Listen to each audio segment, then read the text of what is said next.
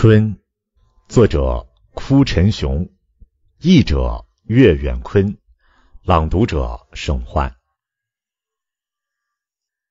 到了三月，一个下午，我像往常一样装作在散步时顺道经过，到了杰子家。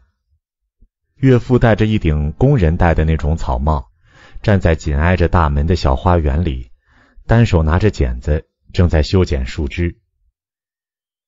我看清是岳父，像个孩子一样拨开树枝，走到他旁边，寒暄了两句，便好奇的看着岳父干活。置身于这个小花园，才发现树枝上到处都有白色的东西在闪光，那好像都是花蕾。他最近好像精神多了。岳父突然抬起头看着我。说起那时刚与我订婚的杰子，我想等他的身体再好一些，就换个地方疗养。你觉得呢？那倒也行，只是我装作对那些闪闪发光的花蕾很感兴趣的样子，吞吞吐吐的回答：“最近我一直在找好的去处。”岳父也不管我，依旧自顾自的说道。杰子说：“他不知道 F 疗养院好不好，可是听说你认识那里的院长。”嗯，我装作心不在焉的样子应了一声，好容易才把刚才发现的白色花蕾拽了过来。但是那个地方一个人能去得了吗？大家好像都是一个人去的，可是。他恐怕自个儿去不了。岳父表现出有些为难的样子，但也不看我，只是忽然剪掉了自己跟前的一根树枝。看到这一幕，我终于忍不住说出了岳父期待的那句话：“这样的话，我可以跟他一起去啊，反正我在做的工作那时也差不多做完了。”我这样说着。又轻轻松开了刚才抓在手里的那根长着花苞的树枝。这时看到岳父脸上立刻露出了喜悦。这样的话就太好了，只是要辛苦你了。哪里，在那种大山里，说不定我反而能好好工作。随后我们说了些那个疗养院所在山区的情况。不知何时。话题变成了岳父正在修剪的花木，或许是两个人同病相怜的情绪，给这种原本不着边际的对话增添了活力。杰子起来了吧？过了一会儿，我若无其事的问道：“不知道，应该起来了吧？你不用管我，去找他吧。从这边过去，那里。”岳父用拿着剪子的手指了指通往院子的木门，我弯身从花枝下面走出，打开那扇长满常青藤、变得有些难开的木门，走进院子，朝深处那间病房走去。直到不久前，那里还被杰子当成自己的画室。杰子好像早就知道我来了，但没想到我会从院子里过来。他穿着睡衣，披着一件色调明快的和服外套，躺在长椅上，手里摆弄着一顶我从没见过的饰有丝带的女帽。我隔着双开门看着他，朝他的方向走去。他好像也看到了我，下意识的动了一下，似乎想起身，但最后没有起来，只是躺在那里，扭过头，有点不好意思的看着我。没睡觉啊！我在门口胡乱脱掉鞋子，跟他打招呼。嗯，起来了一会儿，可是很快又感到疲乏了。他说着，抬起显得有些疲惫无力的手，非常自然的将拿在手里摆弄的帽子扔向旁边的梳妆台，但帽子落到了地板上。我走过去，弯下身捡帽子，脸快贴到他的脚尖了。我把帽子捡起来，像他刚才一样拿在手里把玩。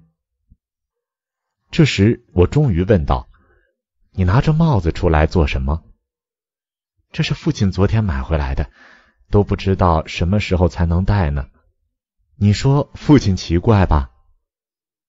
原来是父亲挑的，多好的父亲呢！来，把帽子戴上给我瞧瞧。我半开玩笑的做出给他戴帽子的动作。不要啦，讨厌！他装作有些厌烦的样子，躲避着，微微起身，然后像是要辩解，对我微微笑了笑，又好像刚想起来似的。用明显消瘦的手拢了拢有些凌乱的头发，这不经意间的动作非常自然的散发出年轻女子温柔的气息，就像在爱抚我一样，让我觉得有种令人窒息的性感。我甚至只好慌忙转开视线。过了一会儿，我把拿在手里摆弄的帽子轻轻放在旁边的梳妆台上。像忽然想起了什么，不再说话，仍然无法直视温柔性感的他。你生气了吗？他忽然抬头看着我，有些担心的问。不是的，我这才扭头看着他，冷不丁的转换了话题。刚才岳父跟我说起要给你换疗养地，你真的要去疗养院吗？嗯，总在这里待着。也不知道什么时候才能见好，只要身体早点好起来，让我去哪儿都行。可是，可是什么？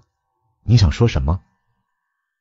没什么，没什么也可以说给我听听啊。看来你是无论如何也不想说呀。那我替你说了吧。你是想说，让我也跟你一起去吧？不是啦，他慌忙打断了我。但我还是继续说下去，只是不再像刚才那样跟他开玩笑，变得认真起来，语气中带着些许不安。即便你不让我去，我也要跟你一起去。只是我忽然有个念头，想证实一下，在遇到你之前，我曾经梦想将来有一天遇到一个像你这样可爱的女孩。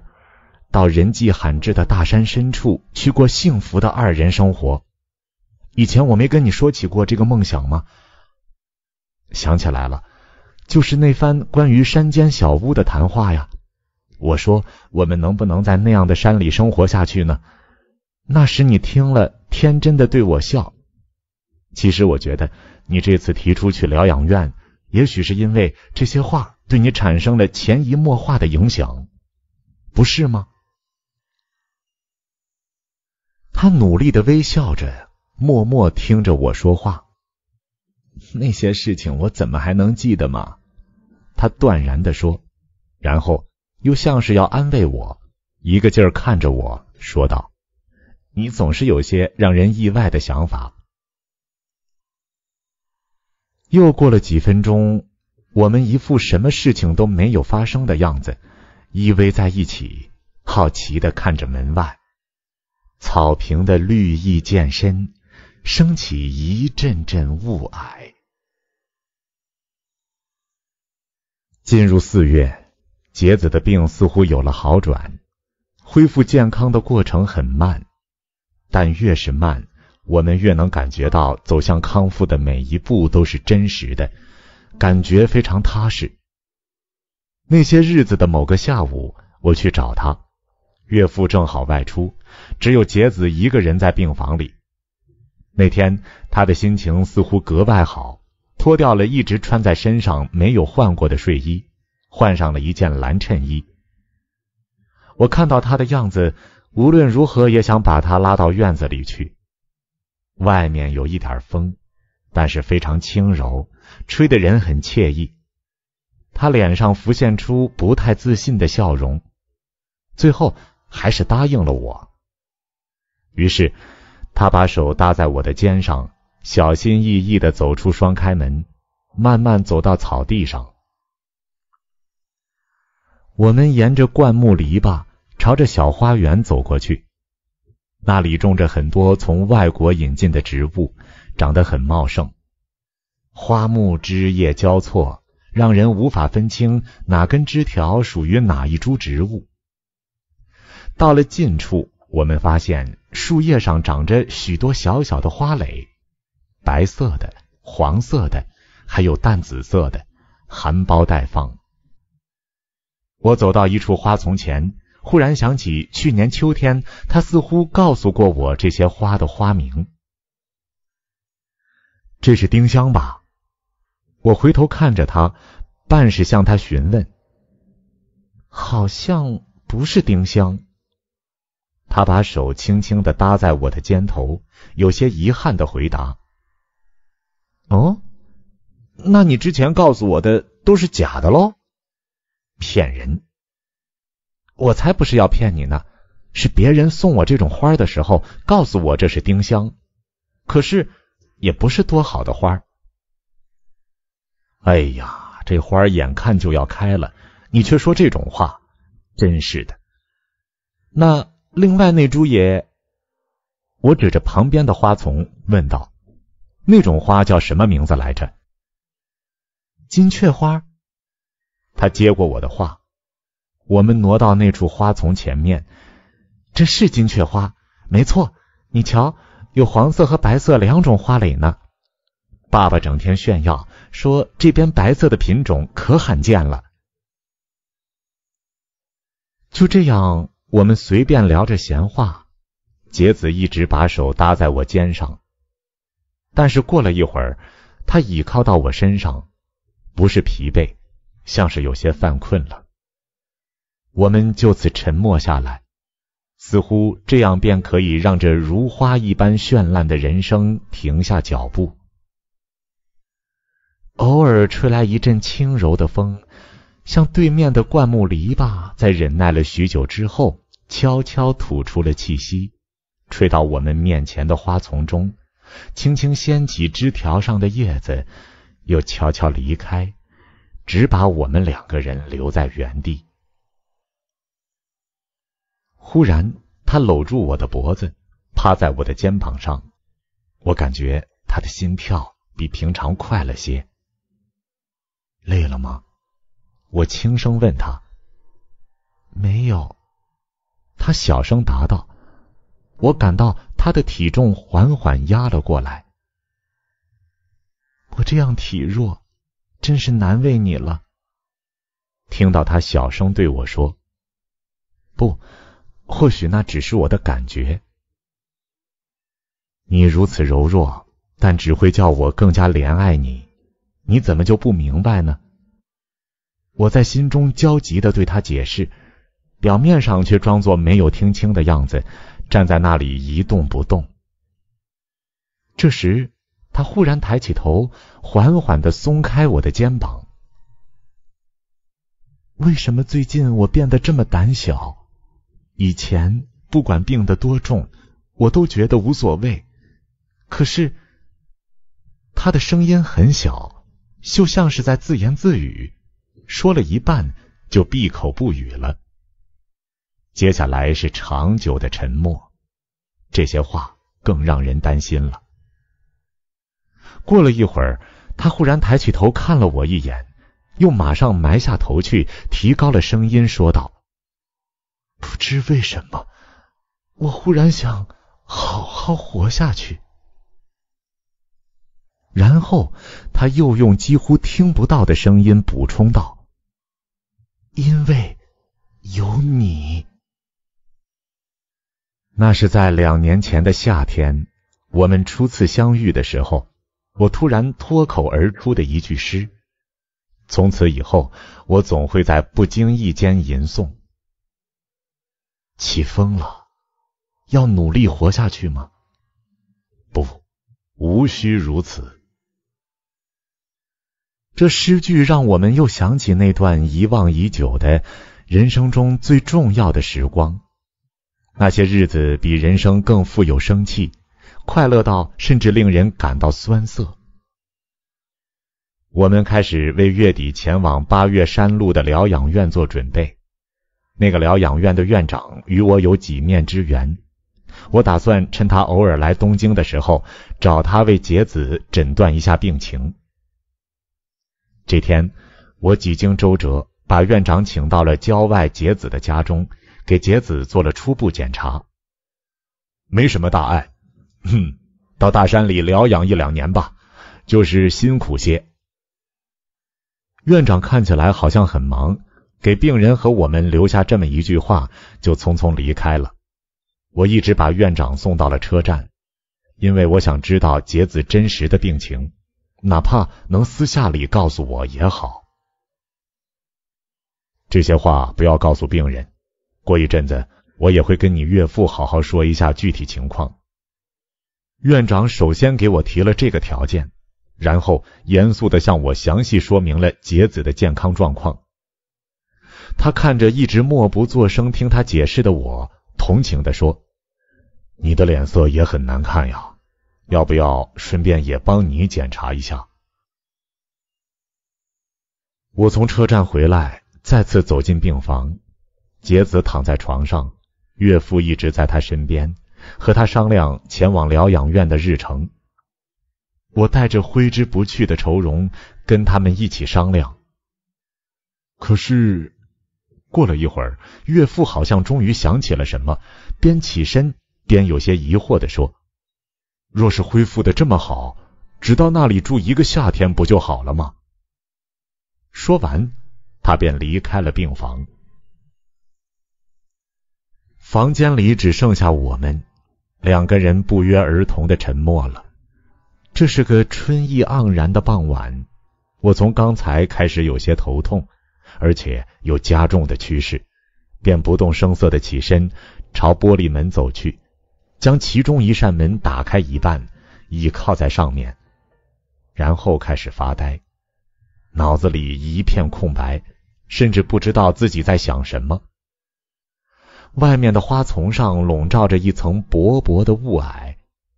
我看着那些花丛，想，好香啊！是什么花来着？你在干什么呢？忽然，病人那有些沙哑的声音从背后传来，让我从类似麻痹的状态中苏醒过来。我没有回头，背对着他，装着正在想别的事，用很不自然的语气断断续续的说。想你的事情，大山里的事情，还有我们将来要过的生活。说着说着，我忽然觉得刚才自己真的一直在想这些事。到了那边，也许真的会发生很多事，但人生就是这样，你像往常一样把一切都交给命运就好。这样一来，命运肯定会赐予我们许多我们从未奢求过的东西。我全然没有意识到自己内心深处在思考这些，倒竟是注意一些好像不值一提的风景细节。院子里还有微微的光亮，但等我回过神来，房间里已经完全暗下来了。打开灯吗？我慌忙打起精神。先别开。他回答，声音比以前更加嘶哑。然后我们两个人都没有再说话。我稍微有点憋闷，草的味道太浓了。那我把这扇门也关上吧。我用一种近乎悲怆的语调回答，手搭在了门把手上。你，这回他的声音听起来几乎变得中性化了。刚才在哭吧？我很吃惊，慌忙回头向他看去。我哪有哭啊？你瞧。但他躺在床上，没有扭头看我。房间里光线很暗，我看不清楚，但能看到他好像在紧紧盯着什么东西。但担心的顺着他的视线往前看，却发现他只是在茫然的看着虚空。刚才院长跟你说了什么？其实我也知道。我想赶紧说点什么，却找不到合适的话，什么也说不出来。我只能不动声色的轻轻关上门，再次将视线转向门外，看着已经被薄暮笼罩的院子。不久，我听到背后传来一声深深的叹息。对不起，他终于开口了，声音依然有些颤抖，却比之前平静的多。你不要担心这些，从今以后，我们一起努力活下去吧。我回过头，见他轻轻把手指放在眼角，停在那里一动不动。四月下旬一个微阴的早晨，岳父把我们送到了火车站。我们在岳父面前表现得很高兴，像是要去蜜月旅行一般，乘上了前往山区的二等车厢。火车缓缓驶离站台。把岳父一个人留在后面，他努力装出平静的样子，只是背微微向前弯曲，仿佛一下子老了许多。火车驶离站台后，我们关上窗，忽然变得一脸落寞，在空荡荡的二等车厢角落坐下来，我们把膝盖紧紧的贴在一起。想要通过这种方式温暖彼此的心。